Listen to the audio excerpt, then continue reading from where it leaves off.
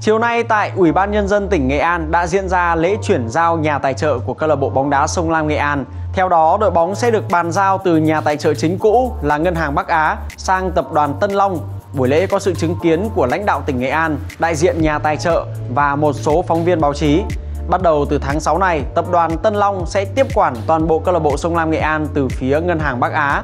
Đơn vị tài trợ mới của câu lạc bộ Sông Lam Nghệ An hoạt động chủ yếu ở lĩnh vực nông nghiệp, có chủ tịch là ông Trương Sĩ Bá, một doanh nhân gốc Diễn Châu, tỉnh Nghệ An.